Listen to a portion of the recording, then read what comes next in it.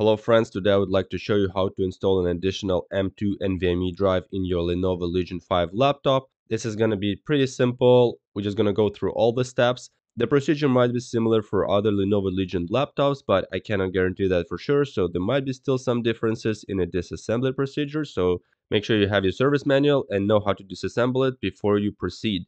And if you find this video helpful, please give it a like, subscribe to my channel for more interesting and helpful videos, and if you have any comments or questions, leave them in the comment section below.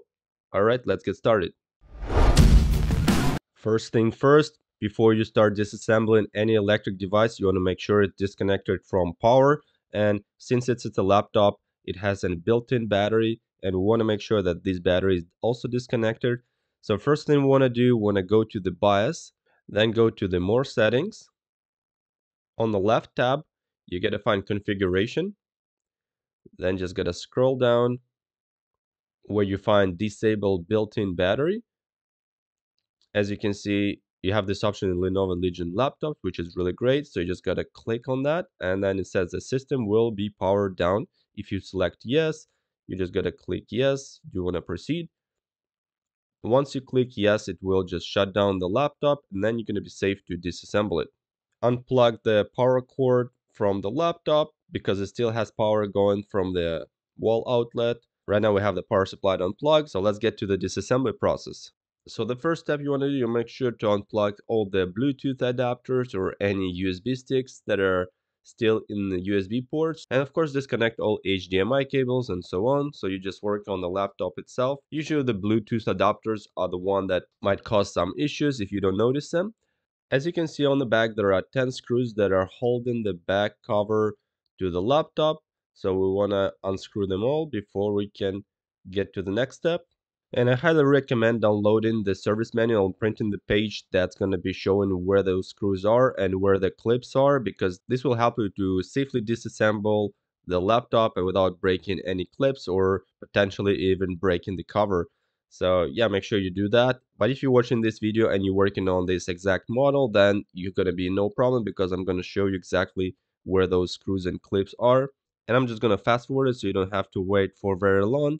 And just a quick tip for you guys, if you find that these screws are recessed pretty deep there and you cannot get them out, you can use a small magnet and then just attach it to the screwdriver and this will help it to lift it off that recessed hole so you can get them out pretty easy. As you can see, they just get stuck to the screwdriver. Or if you have a magnetic screwdriver, that would work as well. All right, let's get it done.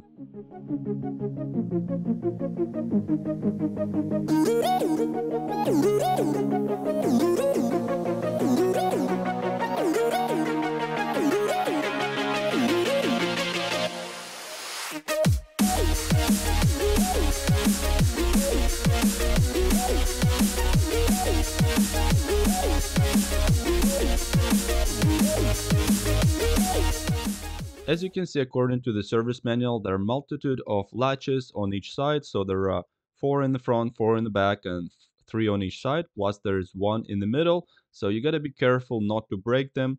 So to pry it up, I usually use like a guitar pick. Actually, you can buy them from any repair kit for like cell phones. They're pretty thin, but they're still pretty sturdy so that they're not going to bend. And they're also not going to damage the material of the laptop.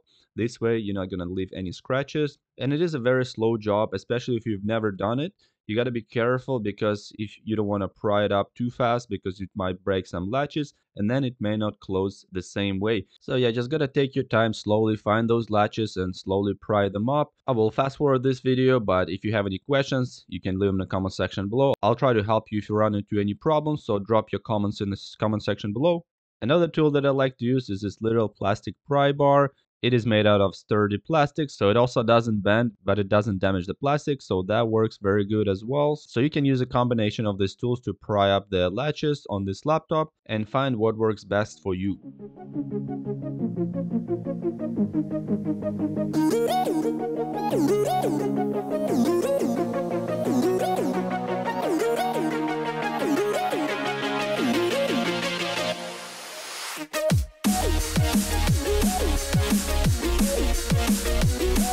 Música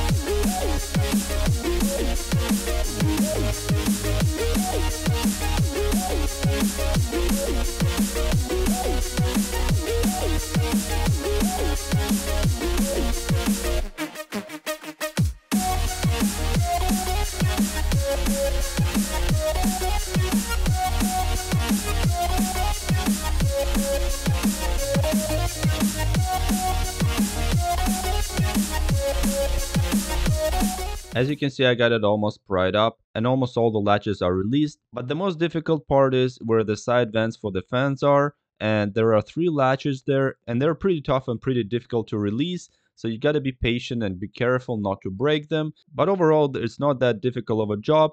I prefer using the thin guitar pick for this because it's much thinner than that other pry bar tool and it works very good. So yeah, just gotta be patient and keep doing it.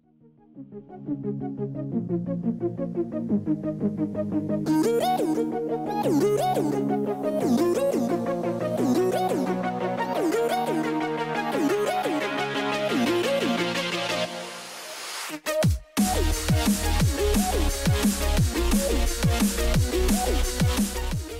once we get all the clips and latches released from the sides and from the front and the back, as per the service manual diagram, there is also one latch in the middle, so it should pop up as soon as you lift the bottom cover. So basically just gotta pull it up until you hear that click and then the bottom cover will come off.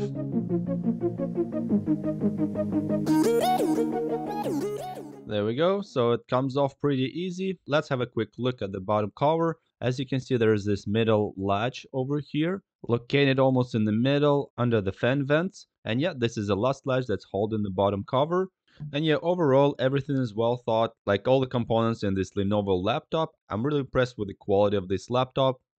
So let's have a look at the battery. As you can see, this is a 60 watt hour battery that is included in this particular model. You can get a model with the 80 watt hour battery as well. And as you can see, there is a lot of room still left for the bigger battery that you can install yourself. Or if you buy a model that already comes with the 80 watt hour battery, this is where it's going to be located. So this video guys is actually universal for replacing the battery as well as adding a new SSD. But I'm using it mostly plugged into the wall outlet, so I don't really need that large battery. Another thing worth mentioning is that this laptop's got a very good cooling system. It's got dual fan like most gaming laptops, but it has a very thick heat pipes and they're also connected together so that CPU and GPU are connected together, so the heat is going to be dissipated much better. And under this metal shields, there are two slots for M2 NVMe SSDs. One is already installed from the factory and one we're going to install today. So let's go ahead and pull off this metal shields. So these metal shields are basically M2 NVMe radiators that dissipate the heat from the M2 drive. And as you can see, there's a thermal pad that sticks to the back of this metal shield for good thermal transfer to allow it to contact with the rear cover of the laptop to dissipate the heat outside of the laptop.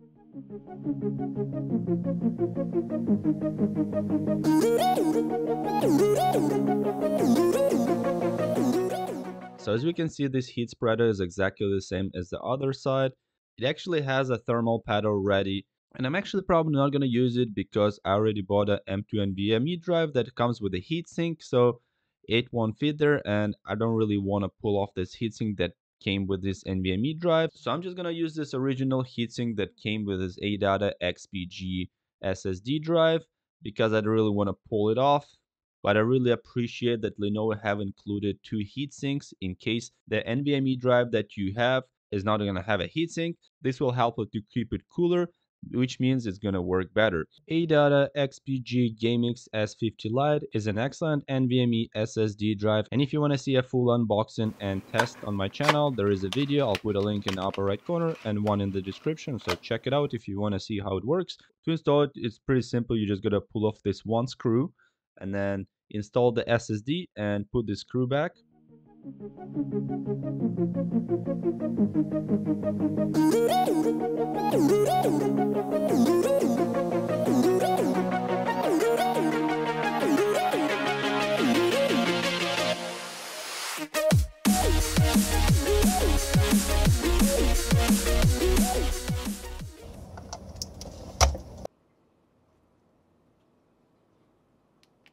So as you can see after installing a new SSD drive in this laptop, it still doesn't show in the file explorer in Windows. So that means it's not going to be usable.